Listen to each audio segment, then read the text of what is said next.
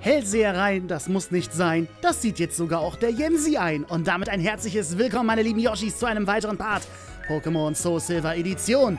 Ja, im letzten Part haben wir es tatsächlich geschafft. Wir haben den guten alten Jens an die Wand geklatscht. Der arme Kerl. Tja, er dachte, er kann hell sehen. Und er hat das nicht kommen sehen, dass wir gewinnen. Dumm gelaufen für ihn, dumm gelaufen. Aber naja, Dafür werden wir jetzt hier unseren Spaß haben. Nämlich mit Klein Geckolein. Nicht wahr? Huch, Gecko trägt etwas mit sich herum. Willst du es an dich nehmen? Nö, das kannst du behalten, Kleiner. Oh, wie er sich freut. Gecko hat etwas gefunden und sieht fröhlich aus. Ja, ihr Lieben, der gute Gecko hat mir auch schon geantwortet, welches Pokémon er gerne sein möchte. Und zwar hat er sich für Nachtara entschieden. Und das bedeutet, unser Gecko wird den Weg von Nachtara gehen. So, und dann würde ich sagen, sorgen wir auch gleich mal dafür. Ich habe die ganze Welt bereist und deswegen kenne ich alle Pokémon-Arten. Na, hoffentlich kennst du auch meinen kleinen Gecko. So, Matrose Pierre möchte kämpfen und er kommt mit Felino. Auch ein sehr cooles Pokémon. Hätte ich auch sehr gerne trainiert. So, aber erst einmal, Gecko, zeig ihm doch mal deinen Spukball. Das ist nämlich eine schöne Attacke. Guck mal, die zieht so schön ab. Ja, so einfach geht es. Aber ich würde sagen, wir setzen noch eine Kopfnuss oben drauf. Und dann ist Filino weg vom Fenster. Tschüss. Schick mir eine Ansichtskarte. Deine Fähigkeiten sind Weltklasse. Ja, ich weiß, ich bin halt klasse. Ich kann nichts dafür. So, okay. Erstmal muss ich mal bei Gecko nochmal an den Attacken was ändern. Nämlich die Reihenfolge. Spukball darf nämlich gerne mit nach oben kommen.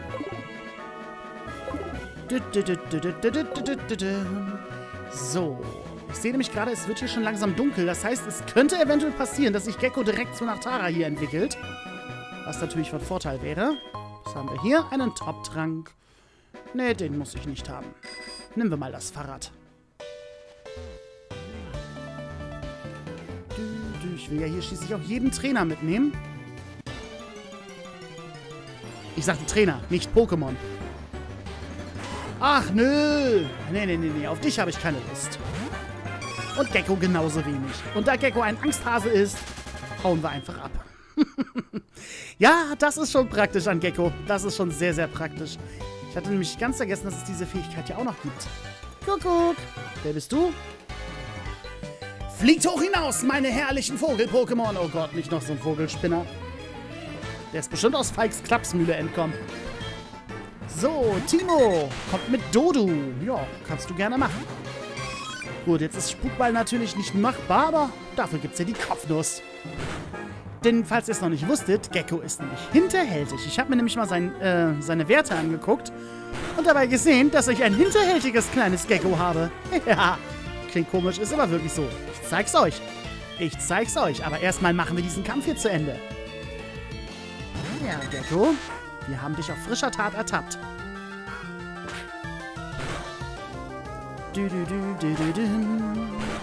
Ich bin schon gespannt, wann sich unser kleiner Gecko entwickelt.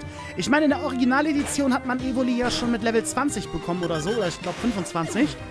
Da wir aber Evoli jetzt seit Level 5 selbst trainiert haben, könnte es sogar sein, dass es sich sogar früher entwickelt, was ich hoffen will. Ich will nämlich wenigstens, dass es die Attacke Finte noch erlernt. Sonst könnten wir eventuell später Probleme haben, weil Gecko sonst keine vernünftigen Unlichtattacken beherrscht. Und das geht ja gar nicht. Denn Gecko wird in Zukunft dann mein kleiner Geister- und Psychokiller sein. ja, Psychokiller. Das würde ihm, glaube ich, sogar gefallen. und die Kopfnuss nochmal drauf. Weil es einfach so schön war. Und tschüss.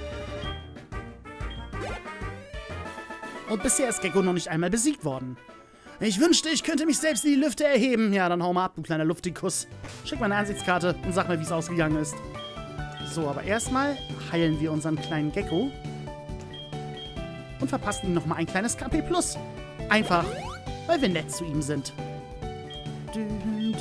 Ja, Gecko, ich bin nett zu dir. Kannst du mal sehen.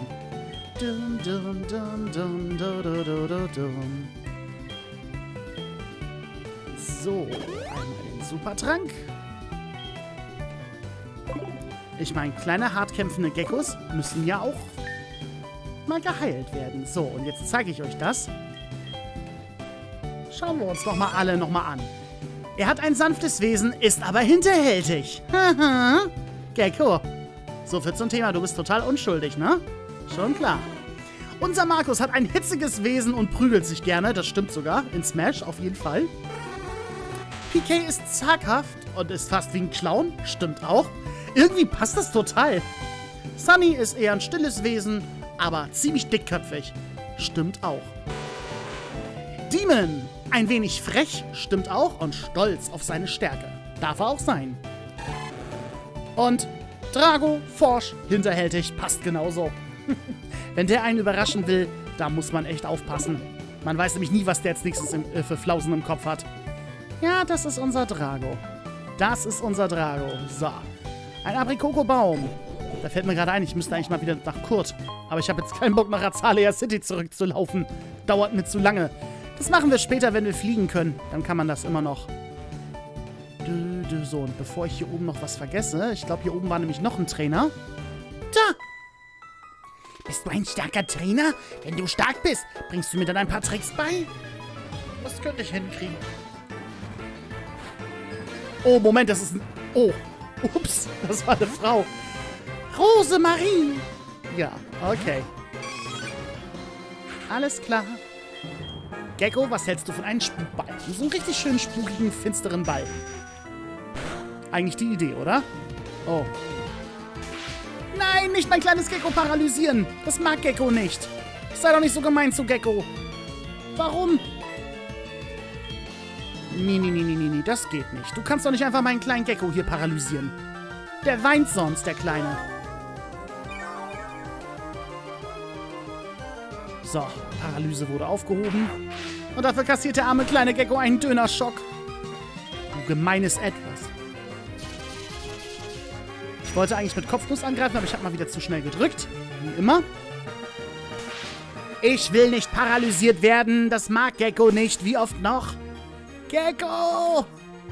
Mein armes, kleines, paralysiertes Evoli, du. Nee, nee, nee, nee, nee, nee. So ja nun nicht. So haben wir ja nicht gewettet.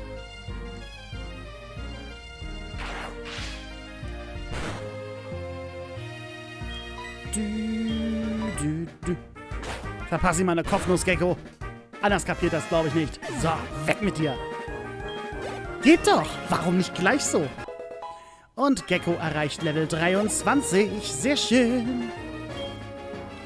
So, Anton, Level 22, würde ich sagen, hauen wir unseren Margis noch da rein. Meine kleine Zuckerbübchen. Wobei mir jetzt gerade einfällt, dass das keine gute Idee war, weil das Vieh ist ja Wasser. Aber gut, zum Glück. Gibt's ja den Steinwurf. Und zum Glück hält der gute Markus auch noch gut was aus. Manchmal muss man auch einfach mal Risiken eingehen. Ey, das ist jetzt aber gemein mit dem Steinwurf. Buh! Gut. Konstitution auch noch. Super. Ja, nee, ist klar, als ob Markus jetzt verwirrt ist. Wem willst du denn das erzählen?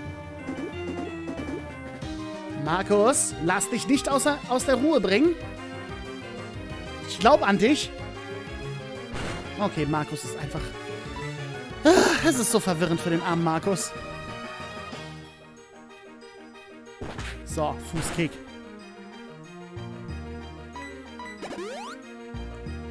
Äh, was?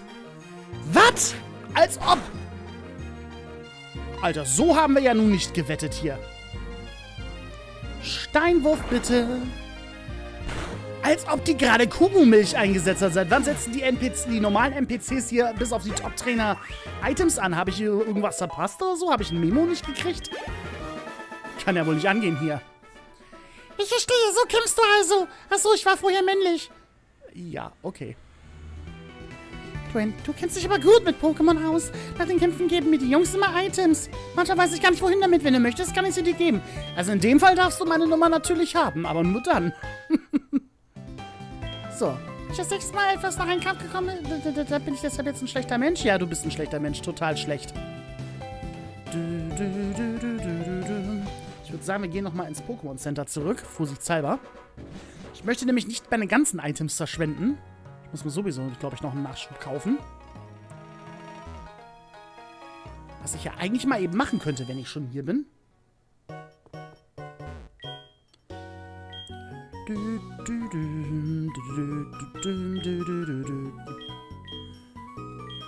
Wie viele Pokebälle haben wir noch? Wir haben noch elf Stück.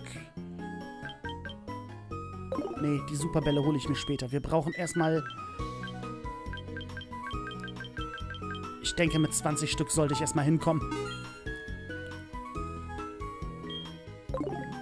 So, das reicht erstmal. Das sollte erstmal reichen. Na, hoch da. Düm, dü, dü, dü, düm. Dü, dü, dü, düm, düm, dü, dü, düm. Einmal unser kleines Gecko zurück in den Pokéball, damit es geheilt werden kann. Oh yeah.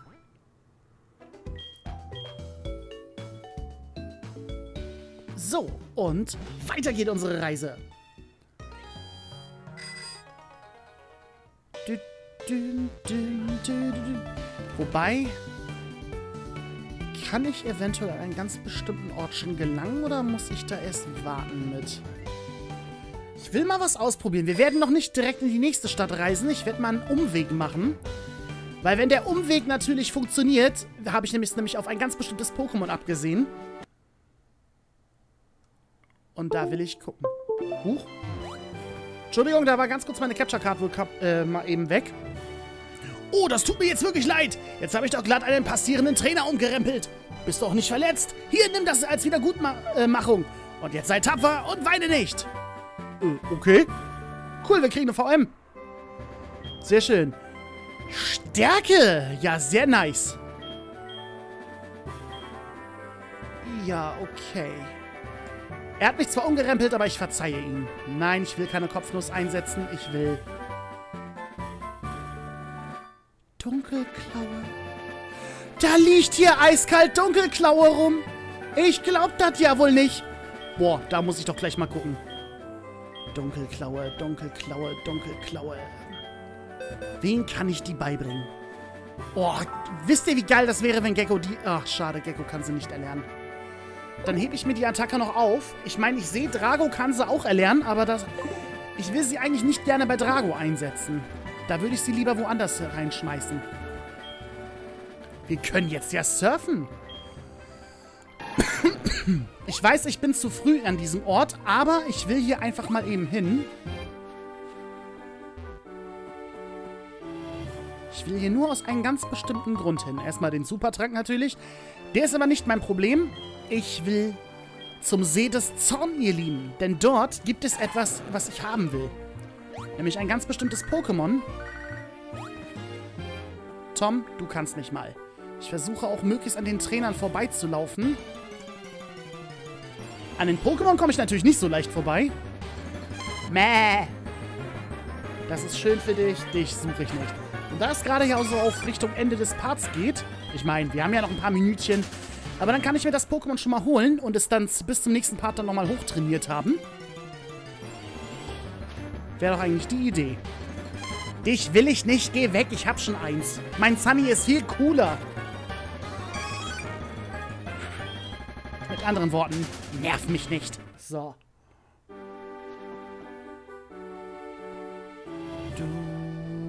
Mahagonia City. Eine Stadt, zu der wir erst ganz, ganz viel später kommen werden. Denn ich will nämlich nur auf eine ganz bestimmte Route rauf. Nämlich hier müsste das gewesen sein, wenn ich mich richtig erinnere. Hier gibt es nämlich ein ganz bestimmtes Pokémon zu fangen. Und dieses hätte ich ganz gerne.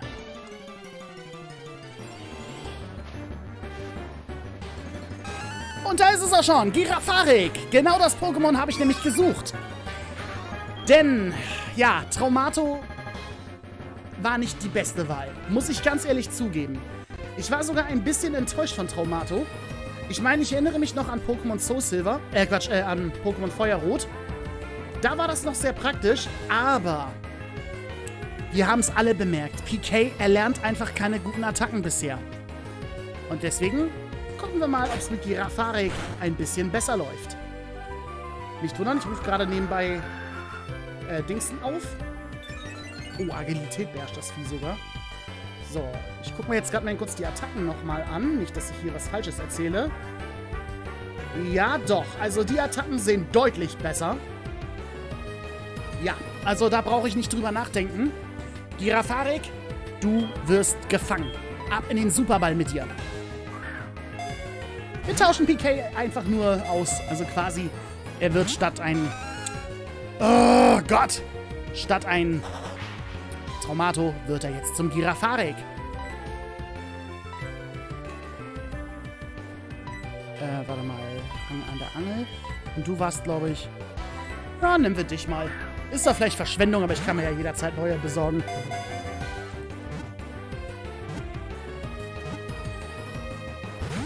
Als ob du ausgebrochen bist. Als ob. Du blödes Mistvieh. Das gibt's doch jetzt wohl nicht. Das ist jetzt ja wohl nicht dein Ernst hier.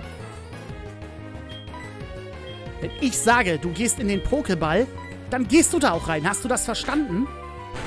Oh, oh das war vielleicht... Puh, Glück gehabt.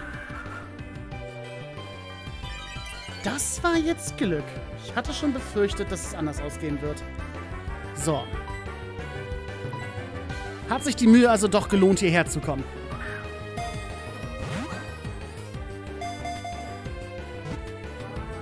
Vor allem ist Girafarik hat einen Zweityp. Ist, es ist nämlich von Typ Psycho und Normal. ja.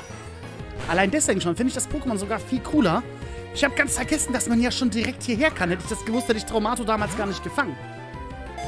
So, jetzt muss ich nur hoffen, dass das blöde Vieh auch in seinem blöden Pokéball bleibt. Was jetzt auch endlich geklappt hat. Geht doch. Girafarik wurde gefangen. Sehr schön.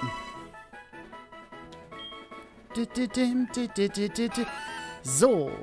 Girafarik, Langhals, normal Psycho. Sein Schweif, der auch ein Gehirn hat, beißt manchmal von alleine zu, wenn er einen Duft wahrnimmt. So, und wie gesagt, da ja unser Piquet ja ursprünglich ins Team sollte, ist ja klar, dass der Name von Girafarik dementsprechend Piquet ist.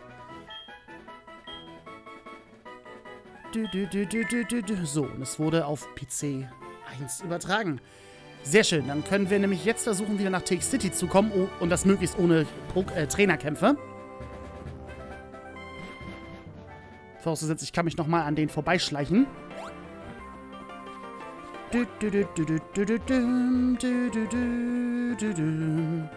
Aber wenn wir schon das Pokémon Center hier haben, können wir hier auch mal eben ganz kurz hingehen.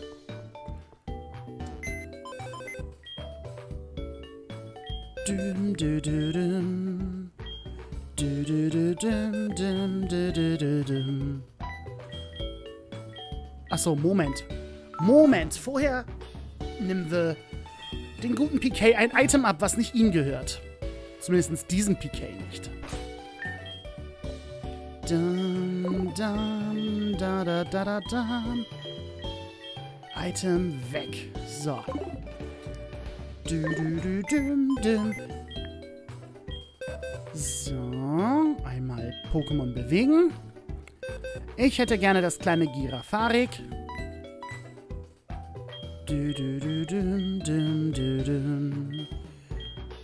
Und wir tauschen es gegen Traumato aus. Sehr schön. Schauen wir uns doch mal PKs neues Wesen an. Seid doch bestimmt genauso neugierig wie ich. So, da ist er auch schon.